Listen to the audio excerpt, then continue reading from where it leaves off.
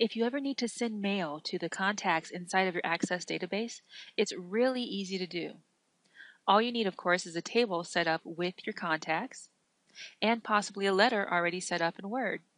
Now, we have the customers table here inside of the Northwind database, and I'm going to be using that.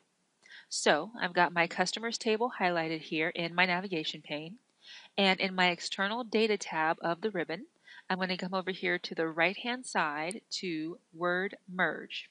I'll go ahead and click on that. And it's asking if I have an existing document or if I want to create a new one. Well, let's say that I do have a document that already exists. So I'll click on OK and then I just need to find that document. Now my document opens up here in Word and I'll make it a little bit bigger so you can see it better. And it opens up in Word in Word Merge.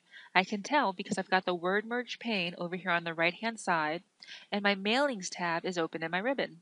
Now this is using the Mail Merge wizard and it's already started. It's already on step 2 so the next step is step 3 of 6.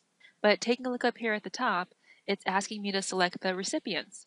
Well, yes, I want to use an existing list, and it's already picked out for me the customers table inside of my database. So I'll go ahead and click on Next to write my letter. Now I just need to pull in the fields that I want to use for the letter. So what I'll do in the document is to get rid of this section here. And then in the mail merge, I'll click on address block. And I have an example here. It's already pulling the information from Access. And I can see that here in the preview. Over here on the left hand side, I can pick how I want the name to be displayed. So if Anna had a middle initial, I would choose this one if I want it displayed. If I just want to see Anna's first name, I can choose Joshua, and you see it just gives me Anna. If I wanted to choose an abbreviation for Anna's name, I could choose Josh. There's a lot of different examples here. If I had the title, I could choose Mr. and it would bring in Ms. I don't have the title here in the database, so you would just go through and pick how you want the name displayed.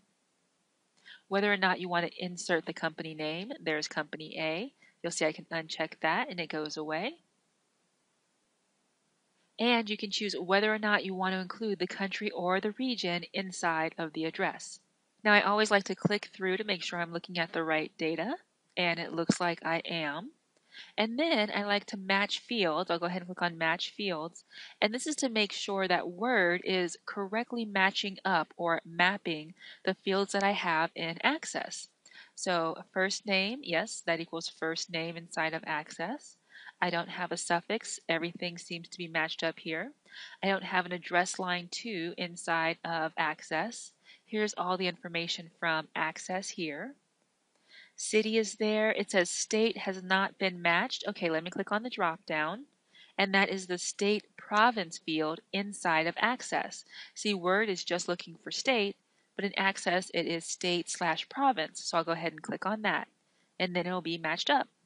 Scroll down a bit to see if I need any additional information, and I don't, but there's a job title if I wanted to put that in here or an email address, but everything looks good. I now have my state matched up.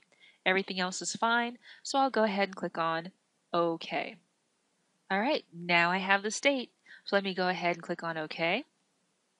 And there's my address block. Now it comes in right now kind of like just a placeholder or almost like code. But if I wanted to preview the results up here in the ribbon, I can click on preview results. It looks good. I can uncheck that to take me back to the address block. All right, so now here I've got Dear Recipient.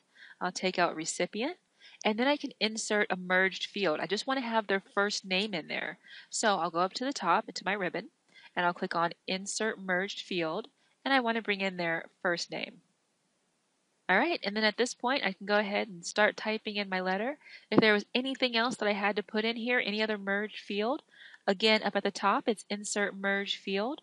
Maybe I want to put in, I'm so glad that your company, comma, and then the name of the company. Let me show you that. I am so glad that,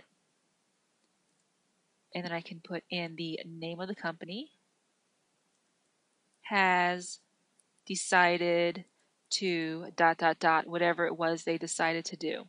All right, let me go ahead and preview the results again. So you can see I am so glad that company D, I can go through company E, company F, company G. I'm so glad that company H has decided to, and then whatever else it needs to be. All right, so that looks good. I'll come down here to the next step. Again, it's preview your letters. I'm actually already doing that, but I'll go ahead and go to the next step. Again, it looks good. If I don't want to add in one of these recipients, I can always choose to exclude this recipient.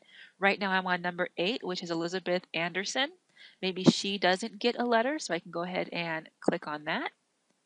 Or if there's multiple recipients that I don't want to bring in, I can click on Edit Recipient List.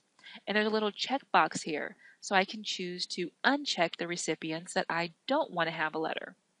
All right, I'll click on OK and head on to the next step, which is to complete the merge. So I can either click on print from here and send all of these over to the printer, or if I want to make it maybe even a little bit more personal or add in something specific to certain letters, I can go to edit individual letters and I can say, okay, edit all of them, just the current one, or I can say maybe letters 1 through 8. I'm going to go ahead and say all and click on OK. There we go. So in a new window, I now have all of my different customers showing up on individual pages. So I can go in again and customize this a little bit more. All right, I'll go ahead and close this. So using Mail Merge with Access is really easy. It's just a matter of going to the External Data tab and clicking on Word Merge. It actually brings you into the Mail Merge wizard and it takes you to step number three already, so you're just about halfway there.